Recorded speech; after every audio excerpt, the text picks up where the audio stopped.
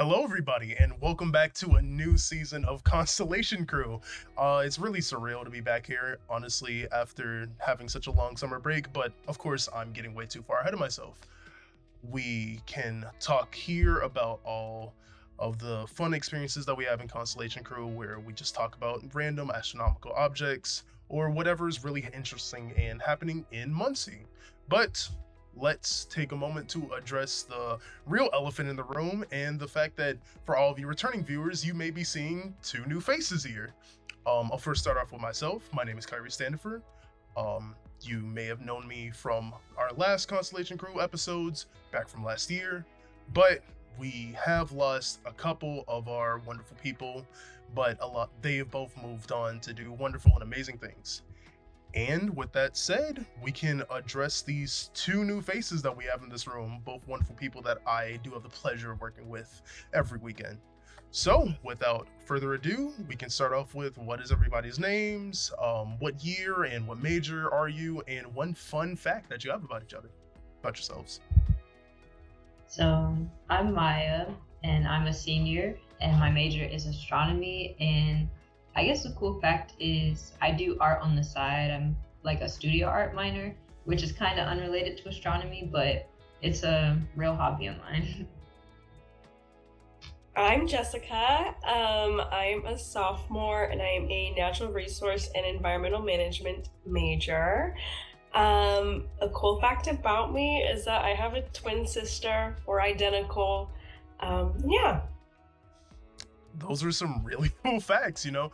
Um honestly, it's just really cool to learn more about what people do on the side or, you know, a bit more about family life. It really builds that connection. And, you know, that's what Constellation Crew is all about. It's about building a connection so we can, you know, talk about um constellations and other celestial objects. So, like I already mentioned, my name is Kyree Standifer. I am a senior with uh going under astronomy for my major.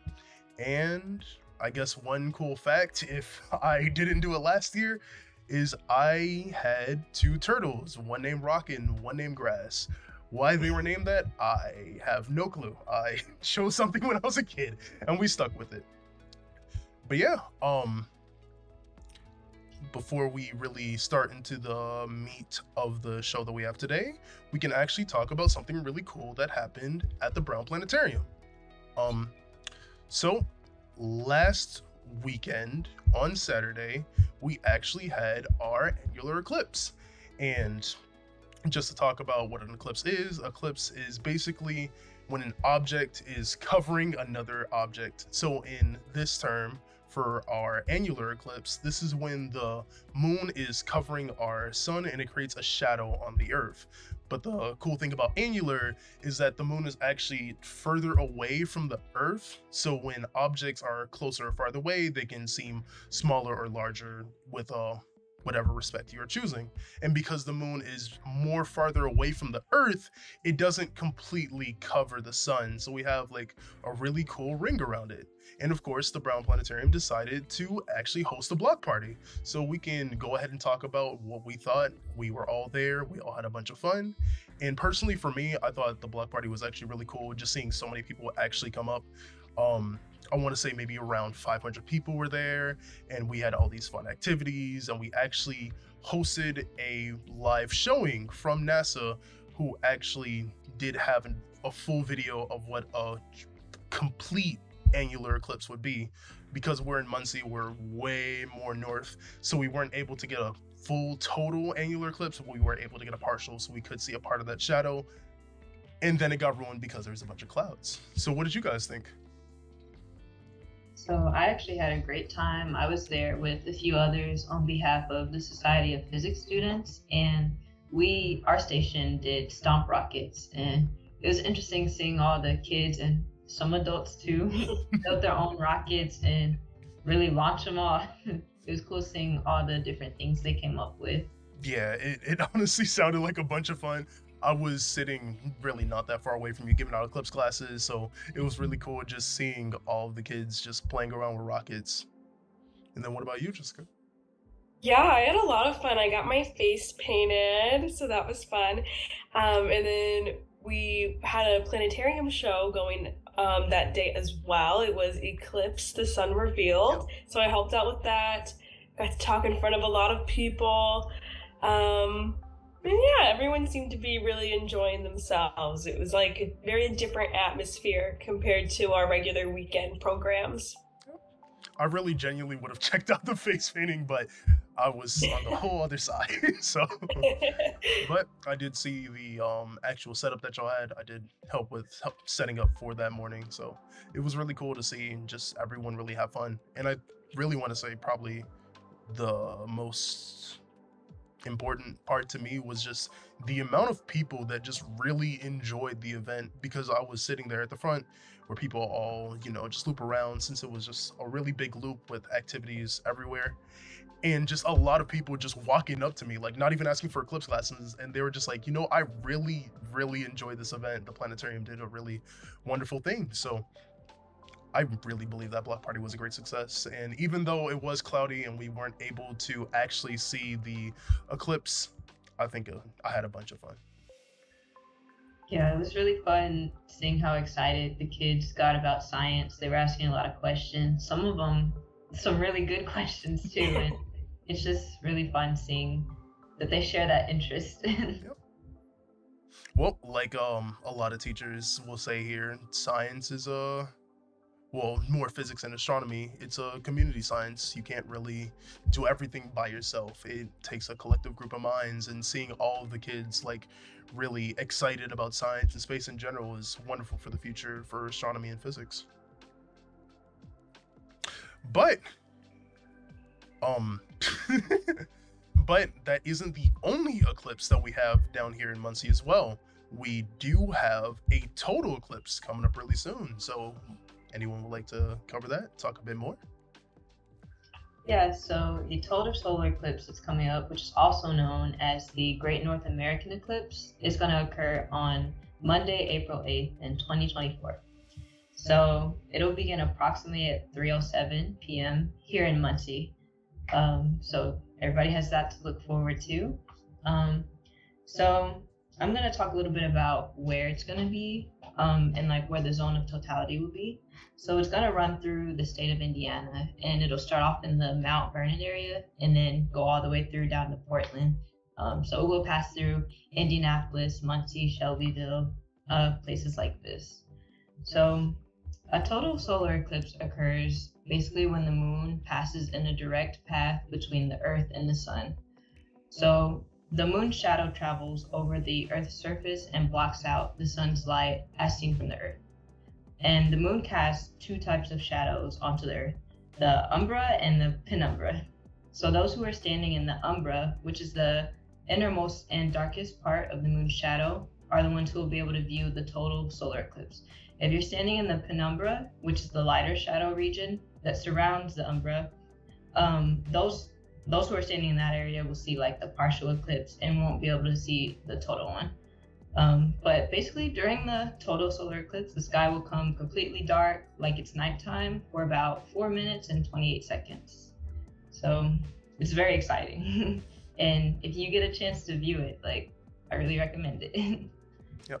Hopefully, we just, you know, don't get absolutely screwed over by Muncie weather. But I'm actually really excited. and I know for a fact that even if I have class, I'm probably to miss a few minutes just so I can make sure I can check it out. But yes. hopefully it's an astronomy class, and you know, if it's Barrington, he'll most definitely make us come out anyway. Most, so most physics and astronomy professors will probably require us to go look at it.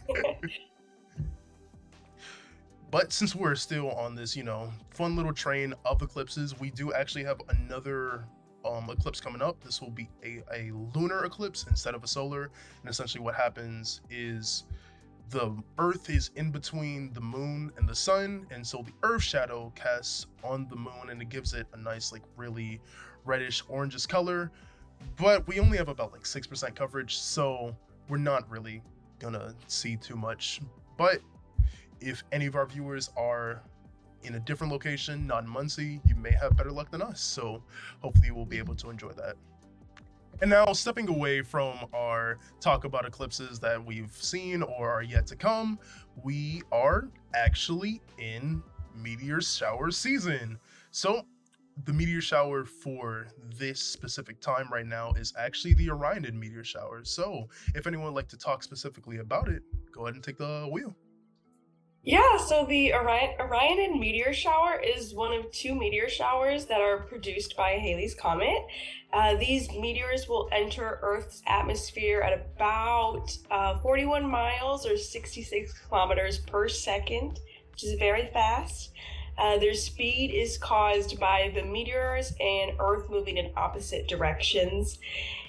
Um, the meteors leave trails of ionized gas that we can see after a couple of seconds, maybe, and then they disappear. But maybe a few might leave persistent uh, trains that you can see for a bit longer um, in the sky. The Orionids get their name from the constellation Orion the Hunter. Who would have thought? Um, they get that name because Orion is their radiant. The radiant point is near that constellation, and the radiant point is where the meteors will project from, and they move outwards in all directions from that point. Nice. That was a really nice cover about what is going to be happening during the Orionid. Honestly, I have never actually looked at a meteor shower. I've only looked at them through like TV or any other types of media to really only get my understanding of what I have now. So it's honestly cool that we are talking about this now. I learn a bit more, and everyone else can learn a bit more, including all the viewers that we have at home. But before we really talk about viewing them and what's going to be happening, we should actually cover how they happen and would anybody like to take this away?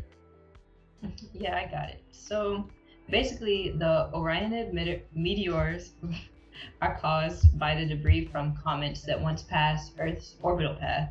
So in this specific case, the debris comes from Halley's Comet. So Halley's Comet was the first comet whose return was predicted. The calculations were done by Edmund Halley, which is where its name uh, comes from. So this comet completes an orbit around the sun approximately every 76 years. Similar to the steam emitted from a locomotive, which is like um, an engine that powers a train, dust particles are discharged from the comet's nucleus. So the Earth then passes through these particles and debris, and bits and the bits collide with our atmosphere, which is what causes those fiery, colorful streaks in the sky. And similar to Kyree, I've actually never seen one either, so I'm actually excited to be learning about it and talking about it more. You know, Constellation Crew has honestly just been a gateway for me to learn about a bunch of space facts that I never knew before, and I'd also be able to share that knowledge with everyone else. So that's actually one of the really main reasons why I love Constellation Crew, and I hope you eventually will be able to share that enjoyment as we move on. But this is a great start. So, well, with that pretty much said, we can talk about viewing. And even though you can't look up at the sky right now because it is overcast and like nearing the end of the day, here we have our wonderful program called Stellarium. And with this, we can actually simulate what the night sky will be here in Muncie during whatever time that we really choose. So right now, I have the time set for 3 a.m. at um 10 22nd or October on a Sunday, literally two days from now. And we are looking at our night sky.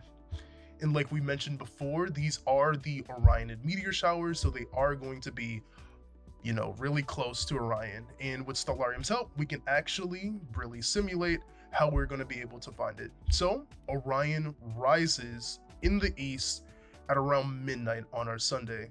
And the easiest way that you can really find Orion, how I typically do it, is look for Orion's belt. So you see these three bright objects in the sky here, and they perform, uh, they perform, they form a straight line, and this is Orion's belt.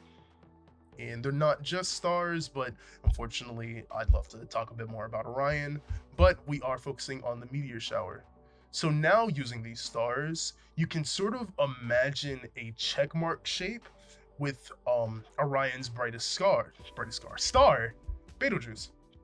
It's a um, really bright orange star, and with that, you can sort of create a really cool check mark with these four bright objects.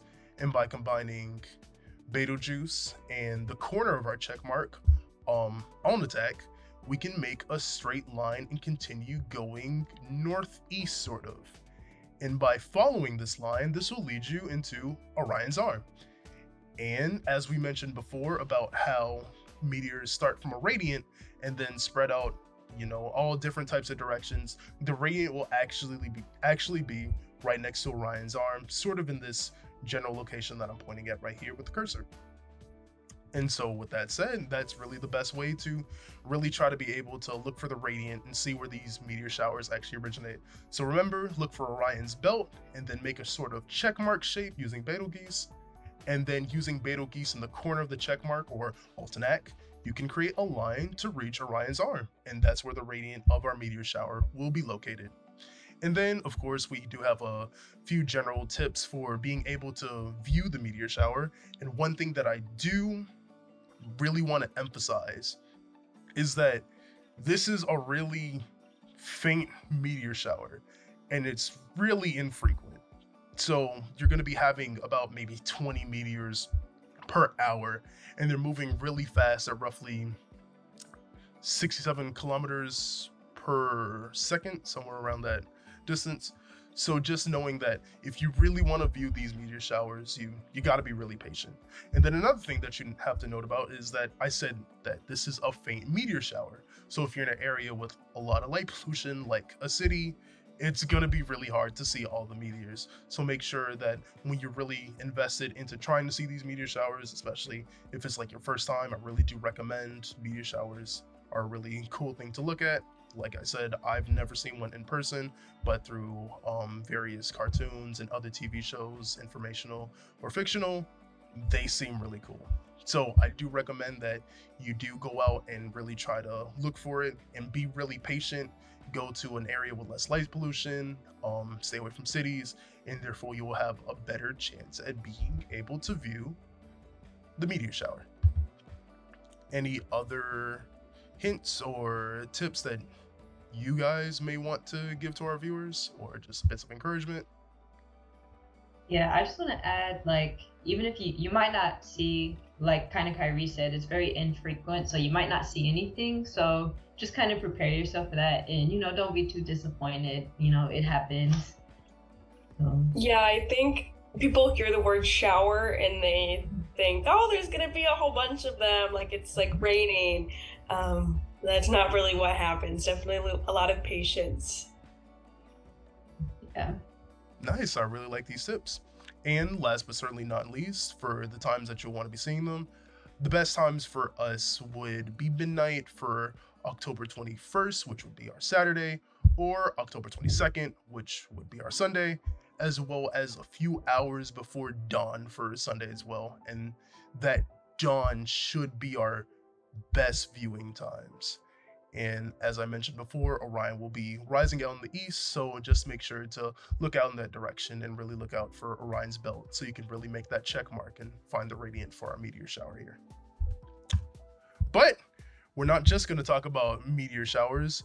It's not just meteor shower season, but it's also spooky season. Who's ready for Halloween, crew? Me. I am. you guys have your um are you guys gonna do costumes? Are you thinking about them? Are you not? I'm thinking about it. I'm thinking about maybe being Velma. Okay. Okay. What about you, Jessica? Um, so I actually came up with this last night okay. talking to a friend. Um, I'm gonna be Shrek. Okay. Yeah, I I really feel like I think it would be really funny. I love that. I love Shrek. what I think I need you to do is like tell me when you're fully dressed as Shrek so I can come. I know. I think I might get like a face, like a huge like mask thing and everything. well, um, although everyone else may be dressing up, there are celestial objects that also dress up, if you will, and sort of really fit along this spooky season. So it's not just going to be us, you know, walking around as Shrek or Velma or me who's going to be, you know, uh, random civilian because I don't know what I'm going to be. but there are many objects in the sky that really do look like a lot of, you know, very spooky and scary things. So the first thing that I personally would like to cover, since you know I've been putting a lot of stress on our crew, you know, I gotta, you know, take the realm. I mean, take the helm sometimes. And I would like to talk about the Perseus molecular cloud. But before I go too deep into that, I should really talk about what a molecular cloud is in the first place. And these molecular clouds are interstellar clouds of gas and dust. Um, so just like imagine like a really big cloud out in space and it's just filled with all these gases um, just a bunch of dust.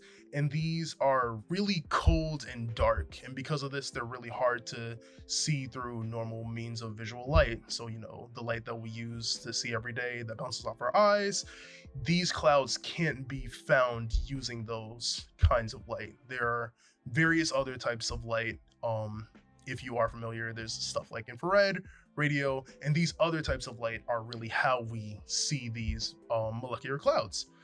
And as I mentioned before, they're not just dark, but they're really, really cold. And on average, they can be 10 degrees Kelvin or negative 447 degrees Fahrenheit. So if you're going out there, you know, you might want to have a coat, a space heater, you know, honestly, just bring everything because you will not be having a fun time if you know find yourself in an interstellar cl- um, cloud. But jokes aside, these clouds are also like really dense and have a lot of size, and this is how these and this is really how a lot of molecules in space can be made, specifically hydrogen. It's because of the density of these clouds and the size that these clouds can cause the formation of molecules such as hydrogen. But there are also many types of molecular clouds, and the one molecular cloud type that I want to focus on are giant molecular clouds.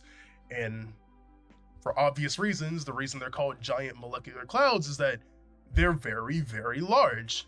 Um, specifically, a giant molecular cloud is basically indicated by having at least more than 10,000 times the mass of the sun. So it's really, really massive. And you can just imagine like all these suns like in one big cloud, and there's your giant molecular cloud. And specifically with uh, the cloud that I'm going to be looking at, or who are going to be looking at, is Perseus. It's 500 light years in width. So again, light years is the distance that light travels within a year, and 500 light years is really, really large. To put that in perspective, one light year is about six trillion miles. So just imagine six trillion miles times 500 uh, that's not going to be the greatest road trip that I will ever want to take. Um, I don't know how many times I'd be looping around the Earth, but you know, who knows? It, it's just not bad. It's only what, uh, what is that? Thirty trillion? I mean, three thousand, uh, three thousand trillion. Yeah, nah, no big deal. Oh, okay. But with this image that we have up here and why it's connected to the spooky season of Halloween, to me, it really looks like a flaming skeleton coming out of the pits and like breathing fire. and honestly, that's why I really love the Perseus molecular cloud. This um image is taken by um, the Spitzer Space Telescope back in 2019, and this telescope is an infrared telescope. So, like I mentioned, there are various types of light, and infrared is one of them. And this is the light that we used in order to get this image. And we get this really fun image of a spooky, scary skeleton, and they'll send shivers down your spine. but we don't just have the Perseus molecular cloud, there is a bunch of really cool objects that can really tie into Halloween. So, does anyone want to talk about an object that they really like or they looked into? Yeah, I'll do it. Um, I really like the Ghost Nebula. It is so cute. um, so the Ghost Nebula is a reflection nebula. So the nebula itself doesn't produce any light, but the light from nearby stars um, reflects and gives it kind of its color and its glow. And it's located 1,470 light years away in, in, the constellation Cepheus, and it's in the northern hemisphere. Uh, but it's it's quite small. It's only two light years in width, so it's got nothing on the Perseus molecular cloud. Uh, so it's definitely a bit smaller, um, but you can see it with a telescope if your focal point is over 1,000 millimeters. You might be able to see it, but it's really small, and because of light pollution, you might need a higher grade telescope to view it if you're into that. Um, so as you can see, it's got kind of this very brown tone, and it gets those brown tones from new stars. So the nebula contains d- dense dust and gas, and that has the potential to collapse and create new stars, which it does. And it, I think it currently is like growing a star, I think, right now, which I think is very cool. Um, and as you can see, it looks a little ghoulish. So that is why it's called the Ghost Nebula, because it looks like these little ghouls sitting with or standing with their hands upright like that. I think it's pretty a pretty cute nebula eh, as far as nebulas go. Yeah, no, it's a really cool nebula. Honestly, the first time I ever saw this nebula, it didn't have this image where there was another piece of the nebula and it looked like a ghost actually flying through the sky. I saw this image and I thought it looked like spilt milk. So I didn't really get the sentiment until somebody explained that, you know, the ghost little hands are no, they're poking out and it kind of looks like they're trying to scare us from, you know, so many trillion miles away. Yeah, it's kind of giving spilled chocolate milk a little bit. see, I'm not weird. no, I, I see it. I definitely see it. Well, last but not least, Mya, do you have any objects that you would like to talk about? I actually do. Okay. So there's one called the Black Widow Nebula, and it gets its name because it really resembles a Black Widow spider. It's actually pretty cool. It's like it has this reddish color that's actually really cool. Um, so the Black Widow Nebula is what is called an emission nebula.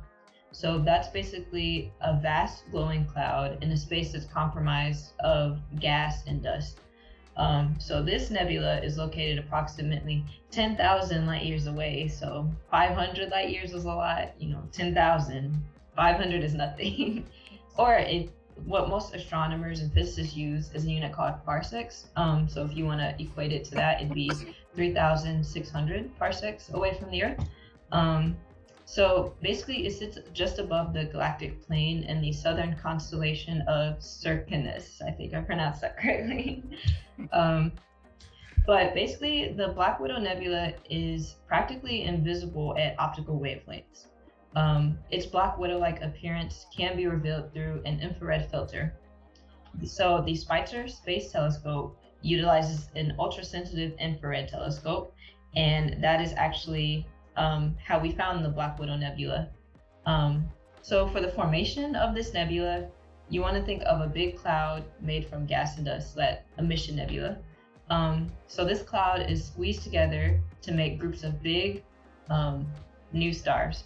And the strong winds from these groups are likely what uh, pushed out the bubbles where it's easiest, making a double bubble shape, which is like the body.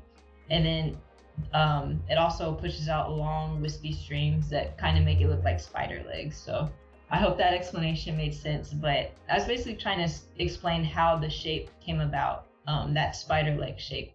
But yeah, I think it's a really cool and spooky one to look at. Yep. I really like the shape of it. Honestly, to all you Marvel fans out there, the first time I saw it, I could only think of Miles Morales the um Spider-Man who has a black yes. outfit and his spider symbol symbol his symbol is red and just with space being so dark just the actual red spider and then the dark background I just instantly thought of Miles Morales in his Spider-Man suit. Yes, and I love Spider-Man too, so you know that really ties in.